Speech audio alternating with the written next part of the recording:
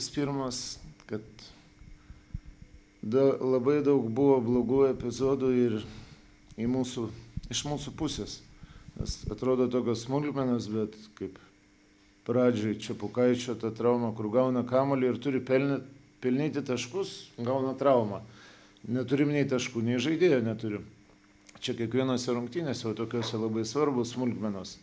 Paskui gaunam tyčinę, kur ryškiai mūsų kamolys, o mes kažkur ten nepavojingoje situacijoje eina baudas metai ir jų kamolys.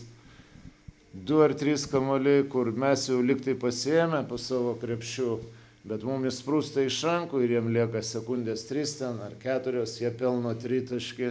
Nu, tokių šiandien, nežinau, labai daug tokių smulkmenų, kur buvo ne į mūsų pusę. Nedadirbom kažkuriais tai vat momentais grinai prie to apylygio žaidimo ir manau, priežastis buvo trečiam keliniai, jie pabėgo šiek tiek ant rezultato 13 taškų. Bandėme atmes, bet progas, nesakau, kad turėjom blogas progas, turėjom progas, įsimetėm laisvus metimus, nepataikėm, o jie turėjo žmogų, kuris, kuris galėjo šiandien spręsti rungtynės. Ir asistavo, ir taškus pelnė. Tai vienas tų žmonių, Manu Lekomtas, per jį labai daug žaidė Jonava, daug žaidė ir per Juaną Palaciosą, ten vis prieš Adamą Lapetą, turbūt tai būtų žaidę ir prieš Čiapukaitį. Kaip ruošiatės tokiam varžovo polimui? Nu, kiek Palacijos susimetė? 14 taškų. Įmetė. 18. 18.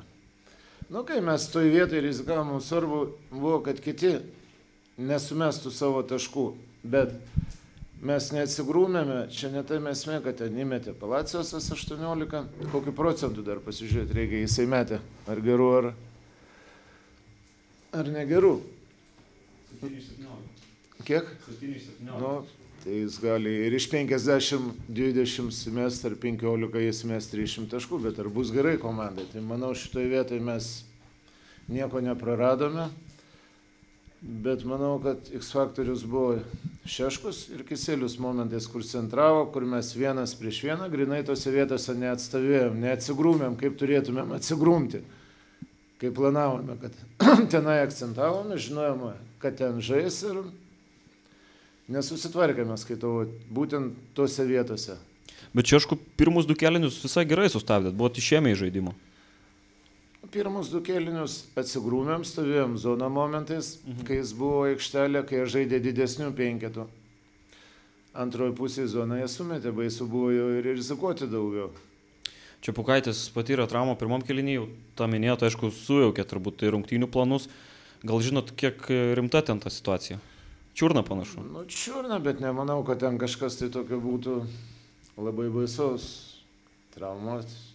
Manau, porą savaičių. Nežinau, tikrai nežinau šiuo momentu, bet neturėtų ten kas nors būti lūžę ir trūkę antros ar tai trečios jau rungtynės iš eilės namie, kuomet žiūrovų daugiau negu sezono pradžioje, paskanduoja žmonės jau ir Dzukijos tą pavadinimą, kiek smagu ir kiek prideda tai tos motivacijos papildomai.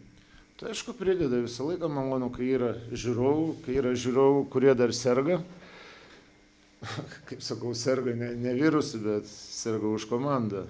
Girdisi, palaikymas malonu, aišku. Ir pabaigai, artėja tas e, finalo ketvirtas e, Karaliaus Minugo tauriai. Galit gal paprognozuoti, ką nors treneri? Galiu. Laimėjo Žalgiris. Tai treneris sveikinimai su jubiliejinė dešimta pergalė. Kaip jaučiatės? Gerai jaučiamės, nes visumoje prieš sezoną planuojant, aišku, ten visokie siekiai, bet e, niekaip iki šio momento nerandam dar vieno žaidėjo, kaip sakant, tokio tarp trečio, ketvirto, kaip mes šnekėjom. Tai aš galvoju, vyrai tikrai, nu, pagal galimybės mes tikrai gerai, man atrodo, stojam, aš taip galvoju.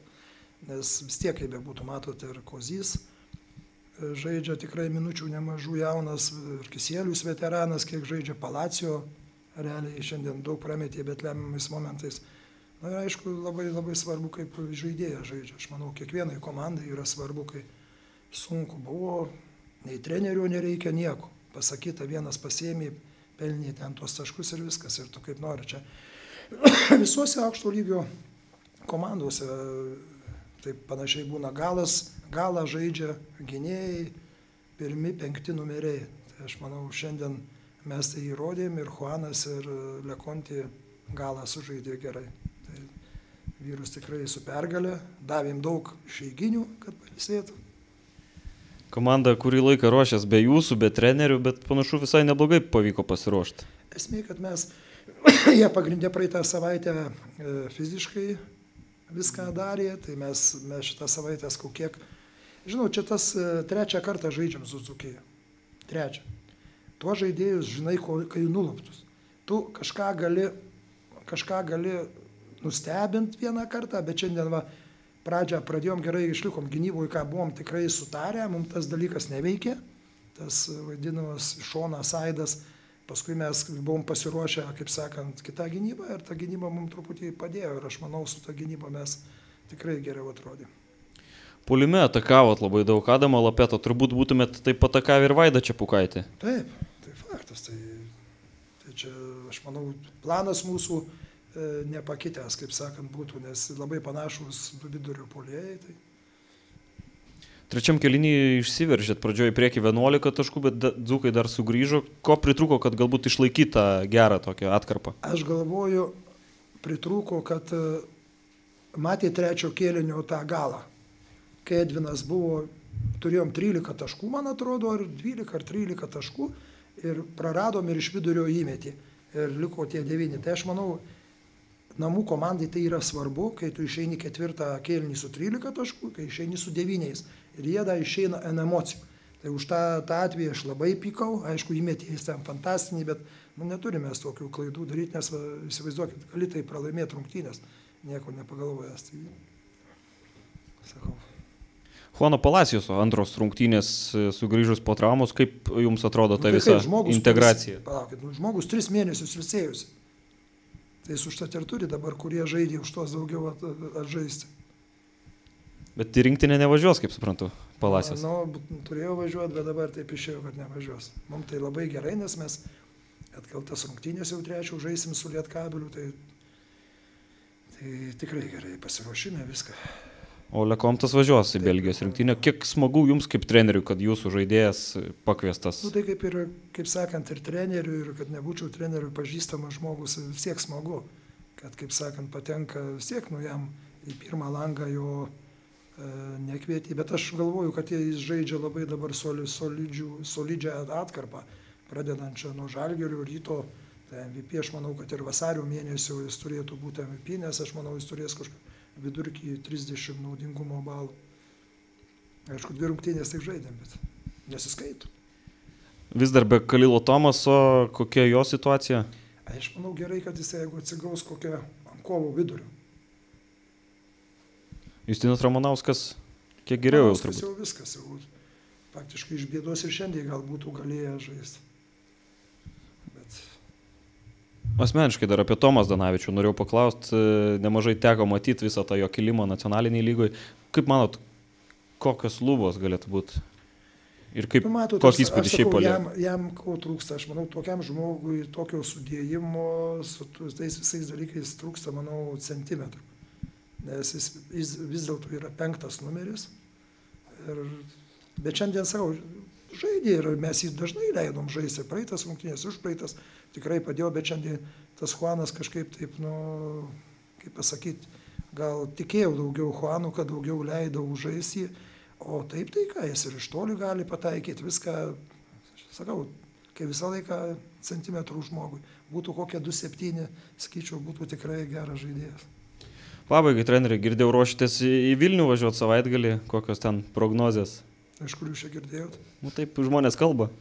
O tie žmonės Lietuvos nuvažiuosim, prognozijas kokios, na žinot, aš kaip visą laiką sakau, šito klausimu realiai visą laiką sulaukiu prieš KMT, nes realiai prienai tais laikais, kai mes laimėjome vienintelį komandą iš be žalgerio ir be ryto laimėjus taurę. Ir man vienas žmogus vis sako, nesidžiaugtų, turbūt žinot apie ką. Ten nebuvo KMT, buvo, sakau, koks skirtumas, bet, nu, šiais metais toksai, kaip sakant, gal vis tiek favoritai tie patys, bet E, iš tų šešių metų, kur po 14-7, e, nes po 7 metų aš galvoju, labai senai buvo, kad intriga tokia ir manau susirinks daug žmonių pažiūrėti pusfinalį. Tai seniau būdavo kaip ir daug maž aišku, žalgeris, rytas, ten atsidėlio, vėl pasakysiu, skyrus 14-15 metus. Tai, va, tai, tai bus įdomu. Oh!